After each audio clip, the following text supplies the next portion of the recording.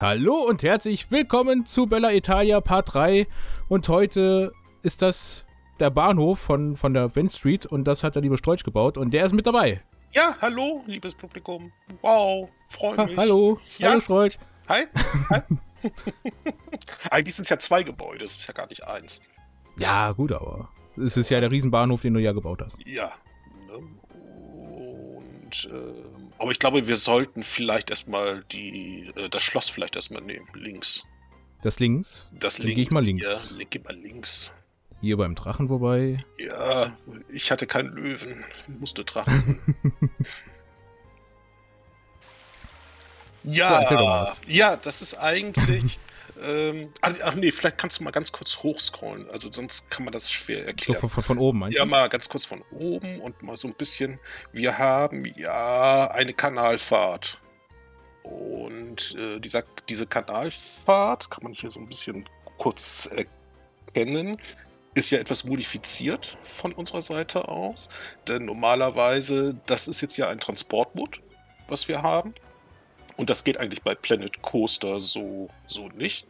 Und wir haben das so ein bisschen modifiziert. Das ist eigentlich die Strecke des, äh, der Dampferfahrt. Und wir haben einfach die Schiffe ausgetauscht, dass auch Passagiere mitfahren können.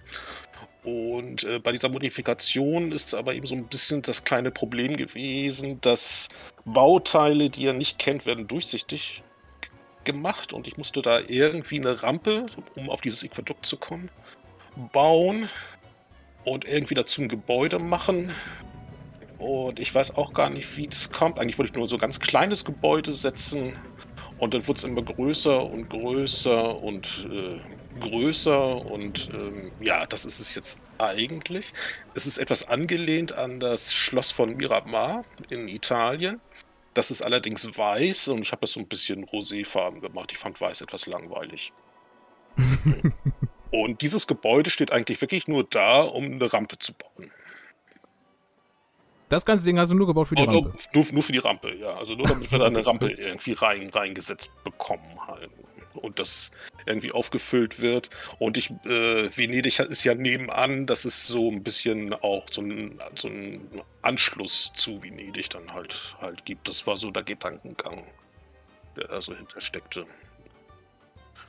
Ja, ähm, von Miramar, das Schloss, ich weiß nicht, ich habe da auch irgendwo Fotos, die kann man ja vielleicht nachher das Video auch so ein bisschen mit einschneiden, dass man das mal so sehen kann. Und ähm, ja, wenn man mal nach unten jetzt reingeht, haben wir hier so ein bisschen die obligatorischen Toiletten. Kranken, Krankenraum, falls sich mal jemand schneidet. Die Info. Und das ist der Übergang nach Venedig. Und Das ist Der Idee, genau. genau, nicht? also hier geht es nachher zu, zu, zurück weiter. Und ja, und ich fand eigentlich, dass das eigentlich so eine ganz gute Stimmung eigentlich ergibt für, für den Eingangsbereich. Das sind, sind, das, sind das Dächer?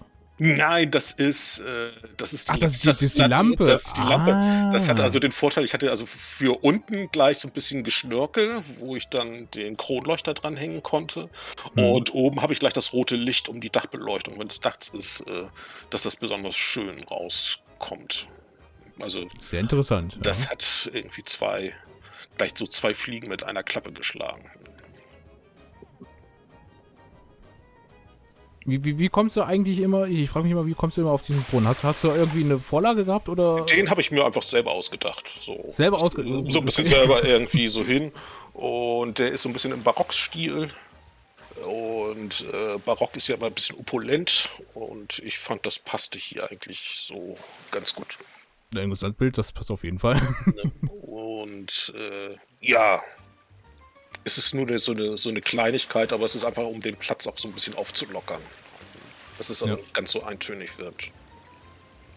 Ich meine, in, in, in Italien sind ja sowieso mehrere Brunnen, ne? Ja, du, passt das ja. Italien ist berühmt für seine Brunnen. Nicht? Also so der berühmteste ist der Trivi-Brunnen in Rom. Nicht? So, La Dolce Vita. Genau. So, wollen wir mal in die Halle reingehen? Wollen wir mal in die Halle reingehen, ja. Äh, das Gebäude ist so ein bisschen angelehnt an äh, den Turiner Bahnhof. und ist jetzt eigentlich eine Station für zwei Fahrgeschäfte. Einmal für den People Mover und einmal oben für die Kanalfahrt. Und da sich die beiden Strecken äh, kreuzen, ist es relativ ein bisschen, vielleicht ein Hauch zu groß geworden halt. Aber ich, aber ich finde, es ist trotzdem sehr gut gelungen. Definitiv. Ich glaube, so, sowas kannst du du bauen. Und äh, wir haben jetzt also hier unten links den, den People Mover. So, das ist auch so ein, bisschen, links, ja. ja. so ein bisschen italienisch kitschig. So, die Italiener sind berühmt dafür.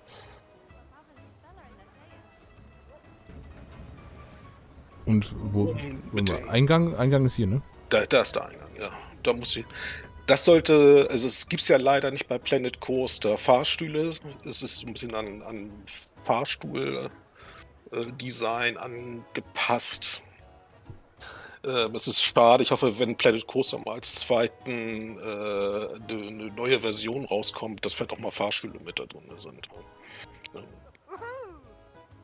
Und ja, das ist so die eigentliche Station. Wie kam es eigentlich auf die Lichter da oben? Ähm, ich glaube, äh, immer wieder, immer wieder gebaut, geguckt, reingestellt, nee, wieder verworfen, wieder neu. Also es hat sich irgendwie so entwickelt. Nicht? Und es sind eigentlich es sind eigentlich zwei Lampen. Das ist jetzt also das, was wir hier das untere einmal quasi als Kronleuchter. Und ja. wenn man jetzt mal aufs Dach geht, da haben wir dann diese Krone oben drauf. Das ist also die zweite Lampe. Das ist also, wenn man es im Dunkeln dann sieht, es ist auch zweifarbig unterschiedlich. Ich mach mal kurz. Und es gibt und es gibt dann so eine sehr schöne Stimmung, wie ich fand. Also ist einmal oben das Rot und unten ist es eher bläulich.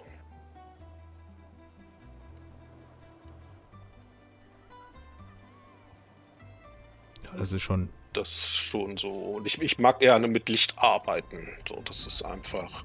Licht gibt irgendwie eine ganz neue Stimmung in, in ein Gebäude rein. Und hier wieder natürlich ein Brunnen. Ja, das ist so. Das ist ein Brunnen, den habe ich mal gebaut für Hansestadt. Das war mein erster, ja. das war ein Wettbewerb, das war Channel 5 äh, ein ganz, ganz kleiner Minipark-Contest und da war er mit drinne und den habe ich dann immer wieder verwendet. Das ist quasi schon sowas wie eine Signatur bei mir geworden. Also da ist also in ganz vielen Workshop-Objekten, äh, die ich bei mir im Workshop habe, ist der immer mit drin. Ob das nun ein altes Pumpenhaus ist oder ähm, ach, ich weiß es gar nicht, wo der überall noch drin ist. Das Community war der, glaube ich, nicht dabei. Doch, Community doch, doch, war, war, war auch mit bei, ja, Stadt der Farben war auch mit drin, ja. Und es ist wie eine Unterschrift. Okay. Also das ist so, kann jeder, wenn man das genau weiß und, und kennt, weiß jeder so, oh, das hat Sträuch gebaut. Die farbigen, die farbigen Fenster, die, die sind die beim Original auch so? Oder Marke Eigenbau? Nee, die sind so ein bisschen Eigenbau. Auch hier gibt es auch so, wenn man das jetzt sieht, ne, also es gibt so ein bisschen schillernde Farbe, gibt das einfach in, in das Gebäude rein. Ja. Das sind also alles Edelsteine, dicht, dicht aneinander gesetzt, die immer wieder hin und her funkeln. Ja, ansonsten haben wir es tatsächlich schon geschafft mit dem Part, ne? Ja. Ne? Wir haben noch hier das kleine, das kleine, kleine Häuschen hier noch. Ja, ne? und vielleicht gehen wir doch noch mal ganz kurz rein. So ganz, ja, ja, ganz ja. auf die Schnelle. Ganz schnell auf die Schnelle. Auf die Schnelle noch mal ganz kurz. Wir haben jetzt, wenn du noch mal nach rechts gehst, rechts, rechts, rechts, rechts, rechts. Ja, das ist also äh, Batch, der ja auch ein toller Videotuber ist, äh, YouTuber ist, ähm, der fand das hier alles ein bisschen leer und das ist eigentlich auch das, was ich auch meinte. Hier wird also noch was passieren. Ich denke, hier machen wir so eine kleine Hall of Fame, machen wir hier nochmal hin. Das könnte man natürlich machen, ja. Also, das ist so, ich finde das so ein schönes Ambiente. So, und da kann man zum Beispiel auch so Leute, die bei uns unter den Videos kommen, also unter diesen äh, Bella Italia Videos etwas kommentieren, die, die, kann man dann hier so, so ein kleines Denkmal setzen. Als Beispiel nur. Gerade hier so die Parktouren und ähm, ja. Ja, nicht so. Und äh, für die YouTuber fällt auch noch ein bisschen was. die das vielleicht zeigen oder präsentieren werden. Da, da kann man auch ein bisschen was machen. Ich glaube, jetzt ist, ist tatsächlich alles dazu gesagt. Ja. Dann war's das schon mit Part 3. Das war Und schon- ähm, ja. das ist Part 3 gewesen, genau. Ähm, In diesem Sinne würde ich sagen, wir sehen uns im nächsten Part in einem in einer Parktour oder Update-Video, wie auch immer. Dann sage ich mal Tschüss. Tschüss.